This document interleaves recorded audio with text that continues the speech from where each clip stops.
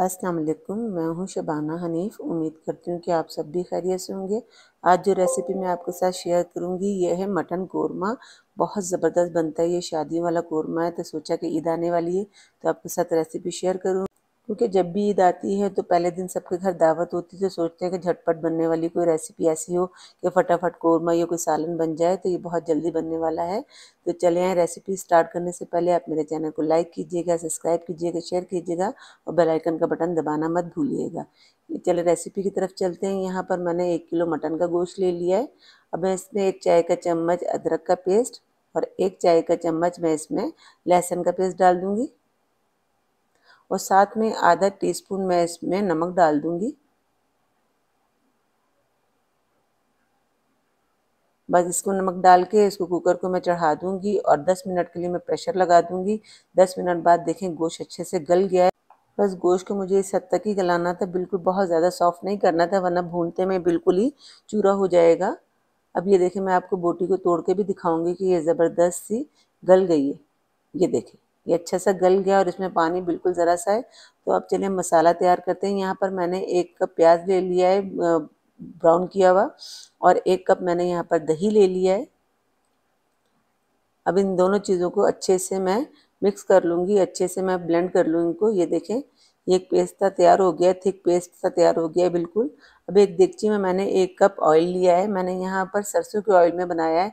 आप भी सरसों के ऑयल में बना के देखिएगा, बहुत ज़बरदस्त बनता है।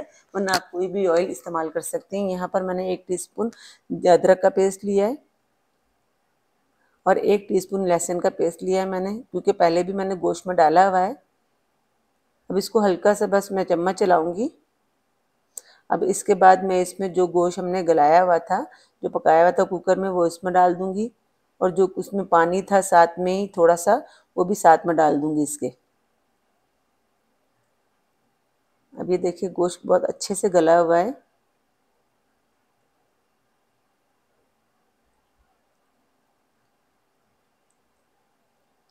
अभी देखिए मैंने पानी भी डाल दिया, साथ में गोश्त की बोटियाँ भी डाल दी हैं। अब मैं इसको अच्छे से भून लूँगी इसी पानी के अंदर, इसी तेल के अंदर। क्योंकि गोश्त की स्मेल ख़त्म करनी हमने और साथ ही मैं यहाँ पर कुछ साबुत गर्म मसाले डालूँगी। यहाँ पर मैंने बादियान के फूल लिया है, एक अदद दारचीनी ली है, लौंग है, काली मिर्ची है और हरी इलायची है, तेज़पात है, ये सब मैं इसके अंदर डाल दूँगी। क्वांटिटी मैंने लिख दी है स्क्रीन के ऊपर। ये सब मैंने इसके अंदर डाल दिया है क्योंकि ये साथ इसके भूनेगा तो इनकी स्मेल निकलेगी तो गोश्त के अंदर जब जाएगी तो बहुत ज़बरदस्त लगेगी। अभी देखिए, पानी भी खुश्क हो रहा है साथ साथ और गोश्त भी भुन रहा है। देखिए, गोश्त मैंने बहुत ज़्यादा नहीं गलाया हुआ, बोटियाँ टूट नहीं भुनते वक्त। अब यहाँ पर मैंने एक टीस्पून मैंने हल्दी का डाल दिया था, हल्दी पाउडर। और वन फोर टीस्पून मैंने यहाँ पर जवतरी ली थी और वन फोर टीस्पून यहाँ पर जायफल ली थी। क्योंकि इसके बगैर तो कौरमा बनता ही नहीं है, बिल्कुल भी। अब यहाँ पर मैंने काली ज़ीरी ले ली थी, जिसको सियाह ज़ीरा भी कहते हैं, वो मैंने एक टीस्पून डाल दिया था। अब आधा चाय का चम्मच मैंने दोबारा इसमें नमक डाल दिया है, क्योंकि गोश्त में पहले नमक डला हुआ है। अब यहाँ पर मैंने एक चाय का चम्मच लाल मिर्ची का पाउडर और एक चाय का चम्मच मैंने यहाँ पर कश्मीरी, लाल कश्मीरी जो मिर्च होती है, उसका पाउडर डाल दिया था। नमक और मिर्ची आप अपने हिसाब से कर सकती हैं। जिस कदर आपको पसंद है, जिस हद तक पसंद है आप उतनी ही कर सकती हैं। कम पसंद है, कम डालिएगा, ज़्यादा पसंद है तो ज़्यादा डाल लीजिएगा। अब मैं तमाम मसाले डाल के अच्छे से भून लूँगी। पानी देखें, बिल्कुल ख़त्म हो गया है। इसके अंदर अब ऑयल ऊपर आ गया है। अब जो हमने ना दही और प्याज पीस के रखा हुआ था ब्लेंड करके रखा हुआ था, वो इसमें डाल देंगे। और अच्छे से इसको मिक्स करेंगे। मैं इसी ब्लेंडर के अंदर मैंने तकरीबन आधा कप के करीब पानी डाला था। और वो भी इसके अंदर डाल दिया, डाल दूँगी मैं अभी अब ये देखिए आधा कप के करीब पानी था, वो भी मैंने इसके अंदर डाल दिया है। अब इसको अच्छे से मिक्स करेंगे।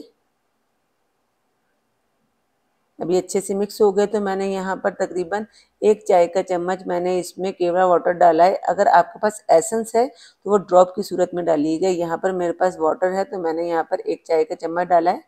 अगर आपको स्मेल कम पसंद है तो आप आधा चाय का चम्मच भी डाल सकती हैं।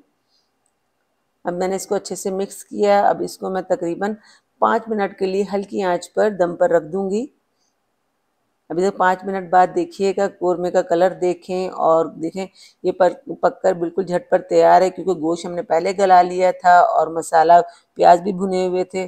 तो बस दही को पकाना था, वो पक गया। अब देखें कौरमे का कलर देखें, आप यकीन करें, इतना ज़बरदस्त, इतना झटपट बनने वाला कौरमा है। तो उम्मीद करती हूँ कि आपको मेरी रेसिपी अच्छी लगी होगी। आप मेरे चैनल को लाइक कीजिएगा, सब्सक्राइब कीजिएगा, शेयर कीजिएगा और बेल आइकन का बटन दबाना मत भूलिएगा। बेल आइकन का बटन दबाने से आपको मेरी हर नई आने वाली वीडियो सबसे पहले देखने को मिलेगी। अगर आपको बकरा के लिए कोई और रेसिपी भी चाहिए तो मुझे ज़रूर इनबॉक्स कीजिएगा। कोशिश करूँगी आपको अच्छे से सिखा सकूँ। अपनी बहुत सारी दुआओं में याद रखिएगा। अल्लाह हाफिज़।